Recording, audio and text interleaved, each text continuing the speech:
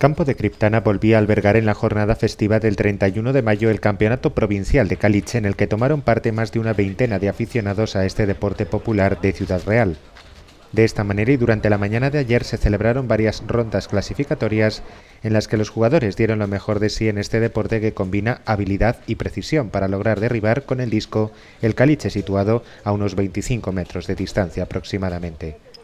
Así pues, tras la disputa del campeonato, el concejal de deportes Manuel Carrasco, acompañado por la concejal de turismo Pilar Manjabacas, hicieron entrega de los premios a los ganadores.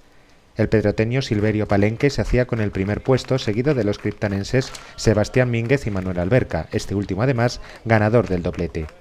Con la tradicional foto de grupo finalizaba así una nueva edición de este campeonato que convierte a Criptana en sede de los aficionados al caliche tanto el primer como el último día del mes de mayo.